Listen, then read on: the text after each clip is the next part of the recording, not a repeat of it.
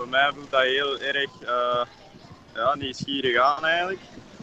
Uh, ik had eigenlijk ook niet verwacht dat ik het nog zou kunnen doen. Maar uh, ja, de voorbije maanden heb ik enorm veel progressie kunnen maken.